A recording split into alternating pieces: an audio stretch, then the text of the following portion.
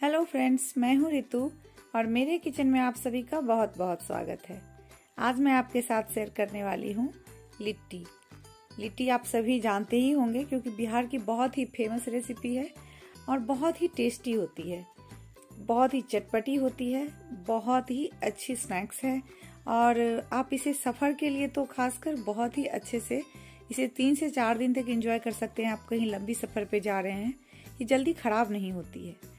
चलिए आज देखते हैं इसकी रेसिपी इसके लिए मैंने ली है दो कटोरी सत्तू, जिसे मैं रोस्ट कर रही हूँ, हल्का सा गर्म कर रही हूँ। अगर आप अपने घर की सत्तू यूज़ कर रहे हैं, तब तो ये करने की ज़रूरत नहीं है, इसको रोस्ट करने की ज़रूरत नहीं है। लेकिन अगर आप पैकेट वाली सत्तू यूज़ कर रहे हैं तो थोड़ा सा इसे रोस्ट करना ज़रूरी होता है। मैंने दो से तीन मिनट इसे रोस्ट कर ली है लो फ्लेम पे, और अब मैं अपनी सत्तू को एक बाउल में निकाल लूँगी।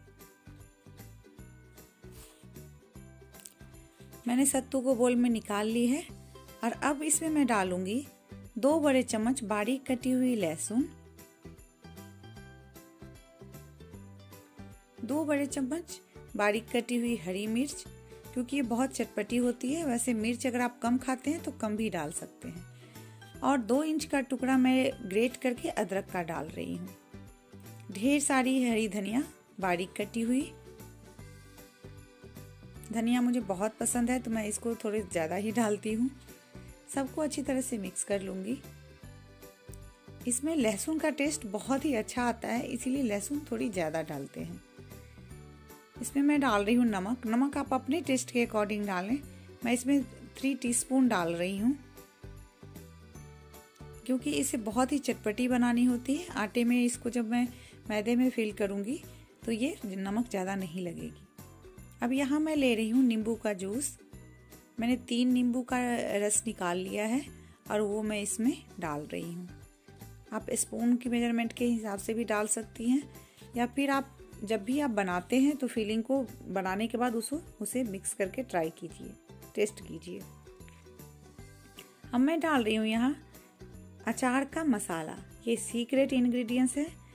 मस, अचार का मसाला हर कोई नहीं डालता है, लेकिन अगर आपने लिट्टी में अचार का मसाला डाल दिया तो उसकी जो फ्लेवर होती है वो इतनी टेस्टी हो जाती है कि मैं बता नहीं सकती हूँ। आपको ये बहुत ही डिलीशियस लगती है खाने में, बहुत ही ज़्यादा चटपटी लगती है। अचार का मसाला ज़रूर डालिए और अपने हाथों से, स्पून से ये अच्छी तरह से मिक्स नहीं होगा, क्योंकि जब हाथ से मिक्स करते हैं ना तो उसकी फीलिंग ही कुछ अलग होती है और वो बहुत ही अच्छी तरह से मिक्स होता है। मैंने अच्छे से मिक्स कर लिया है। सत्तू को अब इसे साइड में रख दूँगी। यहाँ पे मैं ले रही हूँ एक के जी मैदा और इसमें अब मैं डालूँगी वन स्पून अजवाइन या कैरम सीड्स।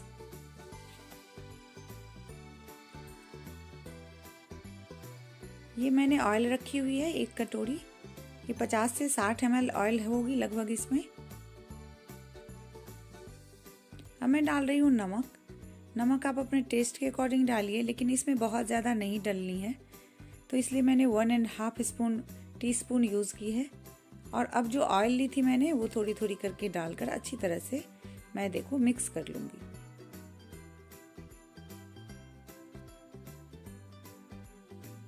इसको आप जितनी अच्छी तरह से मिक्स करेंगे, आपकी जो लिट्टी का जो ऊपर का हिस्सा होगा, उतनी ज़्यादा फ्लेकी क्रंची टेस्टी बनेगी। अच्छी तरह से मिक्स कर ली हूँ और अब थोड़ा थोड़ा पानी डालकर मीडियम डो तैयार कर लूँगी। ना बहुत ज़्यादा हार्ड ना बहुत ज़्यादा सॉफ्ट एक मीडियम डो बनाकर तैयार कर लूँगी। अगर आप मेरे चैनल पर नए हैं तो प्लीज़ मेरे चैनल को लाइक कीजिए शेयर कीजिए एंड सब्सक्राइब कीजिए। मेरी वीडियो को अपने फ्रेंड एंड फैमिली के साथ ज़रूर शेयर कीजिए। अगर कोई मेरी रेसिपी से रिलेटेड कोई भी इंक्वायरी है आपकी तो वो आप मुझे कमेंट सेक्शन में लिखकर पूछ सकती हैं। देखिए, यहाँ पे मैंने मीडियम डो तैयार कर ली है।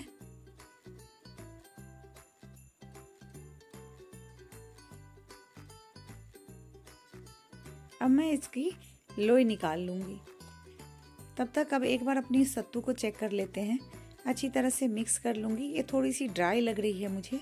तो इसमें मैं दो तीन चम्मच पानी डालूँगी। थोड़ी थोड़ी बहुत ज़्यादा नहीं, बस दो तीन चम्मच पानी डालूँगी और हाथों से या स्पून से अच्छी तरह से मिक्स कर लूँगी, ताकि ये बहुत ज़्यादा जो ड्राई थी ना, वो थोड़ा कम हो जाएगी। मैं देखो रोल करके अब इसकी मैं लोई निकाल लूँगी।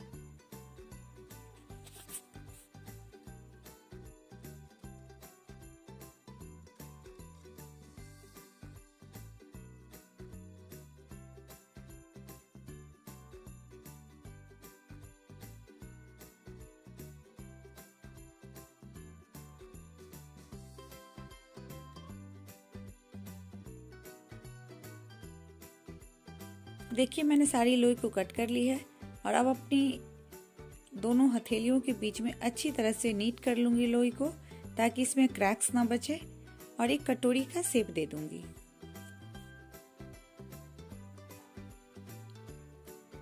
अब इसे अच्छी तरह से फील कर लूँगी।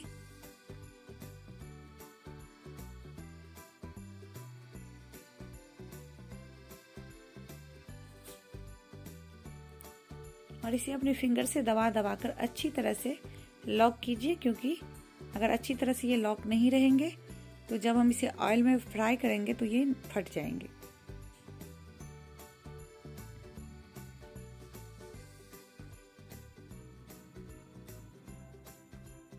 इस तरह से मैंने इसकी सेप दी है, और एक मैं आपको राउंड सेप देकर भी दिखाऊँगी। जो भी सेप आपको पसंद है, उस सेप की आप इसे बना सकते हैं। लिट्टी की एक अपनी अलग हिस्ट्री है। कहा जाता है कि सम्राट अशोक के टाइम में, जब वो बहुत दूर के एरिए में जाते थे अपने सैनिकों के साथ लड़ाई के लिए तो बहुत ज़्यादा राशन लेकर जाने में कठिनाई होती थी सैनिकों को। इसलिए वो ऐसी चीज़ों की तलाश में रहते थे, जिससे कम से कम उन्हें उठाकर ले जाने की ज़रूरत हो और एक अच्छी मील तैयार हो जाए, जिससे सैनिकों का पेट भर सके। और इसके लिए उन्होंने लिट्टी चोखा को बनाया था, क्योंकि इसमें बहुत ज़्यादा चीज़ें नहीं लगती है, आटा और सत्तू की ज़रूरत होती है, और कहीं भी आग जलाकर वो इसे कुक कर लेते थे। देखिए, इस तरह से भी आप इसकी सेप दे सकते हैं, बिल्कुल राउंड। लिट्टी को बहुत तरीके से बनाई जाती है। यहाँ पे मैंने ऑयल को गर्म कर ली है, और ऑयल हमारी गर्म हो चुकी है। कभी भी ऑयल को बहुत ज़्यादा हीट मत कीजिए। जब भी आप मैदे की चीज़ को फ्राई करते हैं तो ऑयल जो है वो मीडियम हीट होनी चाहिए और गैस भी आपकी मीडियम से भी लो होनी चाहिए, यानी कि लो मीडियम होनी चाहिए गैस ताकि हमारी जो कुकिंग प्रोसेस है वो स्लोली हो, बहुत ज़्यादा जल्दी नहीं हो। इससे क्या होगा कि मैदा जो है वो अंदर से कच्ची नहीं रहेगी। बिल्कुल इवनली कुक होगा और बहुत ही अच्छी और परफेक्ट कुकिंग होगी आपकी। लिट्टी को आराम आराम से देखिए, ये धीरे धीरे ऊपर आएगी। अपनी लिट्टी को मैंने डाल दी है और धीरे धीरे इसे पलट पलट कर स्लो कुक होने दूँगी।